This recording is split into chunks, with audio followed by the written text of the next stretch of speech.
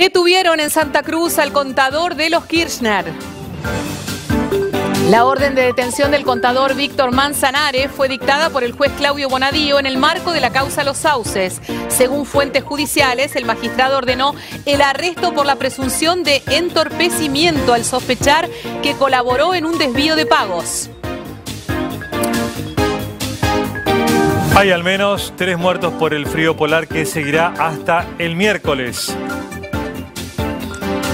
Al menos tres personas murieron en las últimas horas en las ciudades de Rafaela, La Plata y Mar del Plata, afectadas por el frío polar que se extendió por todo el país. Las bajas temperaturas persistirán hasta el miércoles.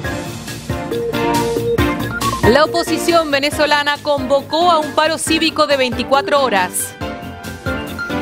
Luego del rechazo masivo en el plebiscito contra la constituyente de Maduro, la oposición convocó a un paro de 24 horas para el jueves. Además, el viernes nombrarán a los nuevos magistrados del Tribunal Supremo de Justicia. Macri presentó el centro de transbordo en La Matanza.